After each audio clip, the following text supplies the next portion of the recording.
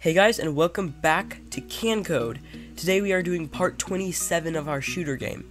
And real quick, there was one glitch that I wanted to fix. When we're playing now, we can't actually buy any bullets. Whenever we buy any bullets, it resets them to zero once we start the game. And that's because what we're doing is we are changing the bullets by 100. Instead, what we want to do is we want to change the actual bullets by 100. But it, we want to change it by 100 if we have the normal gun. We want to change it by 200 if we have the next gun. So what we'll say is we're going to say if and then equals and we're going to say if the costume number of the player so we'll change this to player say if the costume number of the player is equal to 1 then we're going to change the actual bullets by 100 but that uh, but if it if we're if it's equal to two, then we're gonna change it by 200. So we're gonna add that right there, and yeah, right about right there. So you might be wondering, well, couldn't we do this a lot easier? Couldn't we say we change the actual bullets by the costume number of player times 100? And that would actually work if this was like the last thing we were gonna do before we actually published the game. But we're gonna have more guns and the third gun is probably not gonna, we're not gonna want to get 300 bullets for it. It's probably gonna be like some sniper or something where we're gonna want to get the this amount of bullets. So we don't want to do that formula. Instead, we're just gonna have this if statement, so it's easy for us to change other things. Now the thing here is we're gonna have to do this to all of them. Yeah, this is gonna be a little bit annoying, but we can do it. We're just gonna have to come down here and say for the uh, bullet, the bullet of, or the barrel of bullets, uh, we're gonna say change the bullets by 1250 normally, but if we have the other gun, we're gonna change it by 2500. So we can delete this, and we are gonna duplicate this and put this in right like there, and then we're going to drag this one down to the house of bullets, and this is the last one, so we're just gonna say change the actual bullets by 15,000 or 30,000 if the cost number is that. So we're going to just delete this block, put that in right there, and that should work. So let's just try it out.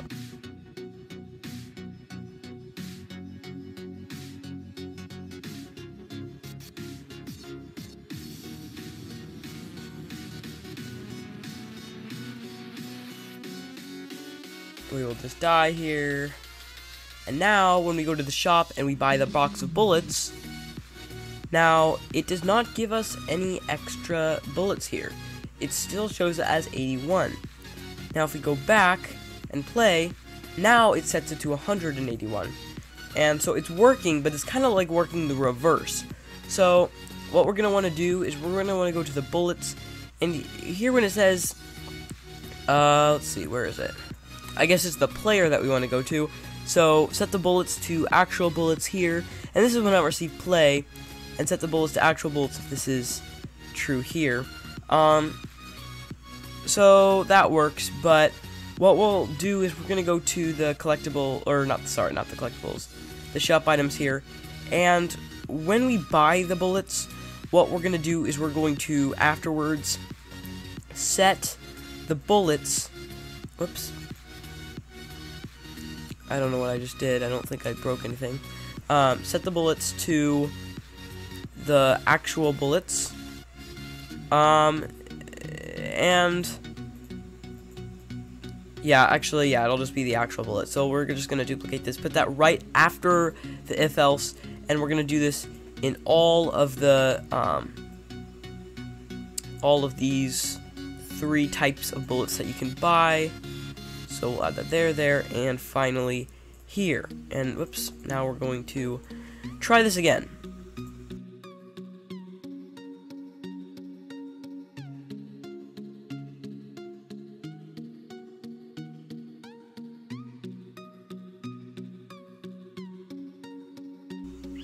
So we're almost dead. We just there we go.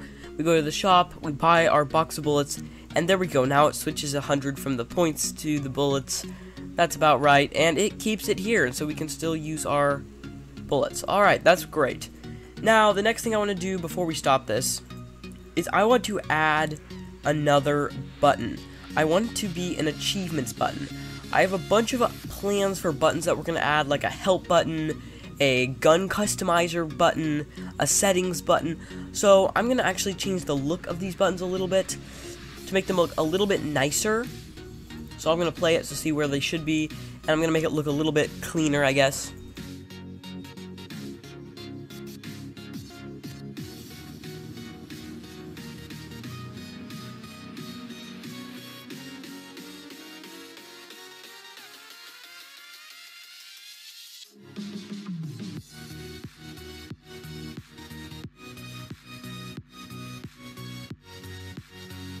Alright, now that I've done that, I'm going to add another button here.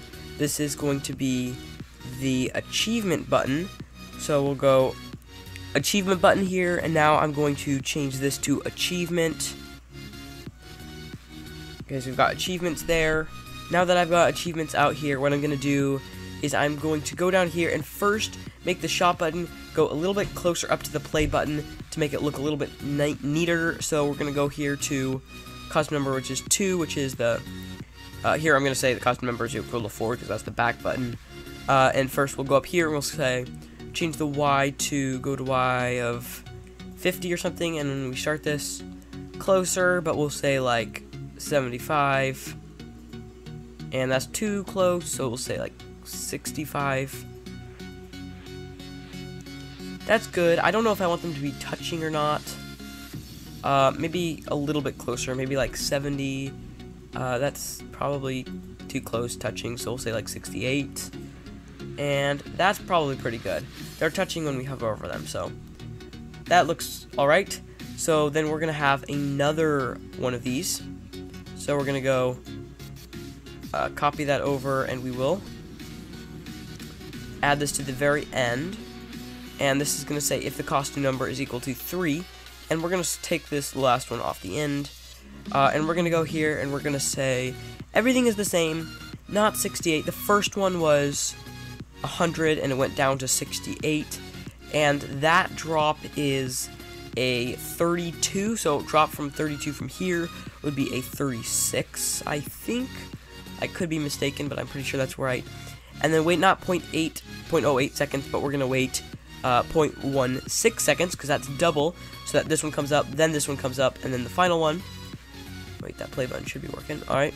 And then, we're going to say, if touching mouse pointer, everything will do the same thing, except instead of broadcasting the shop, we're going to broadcast achievement here.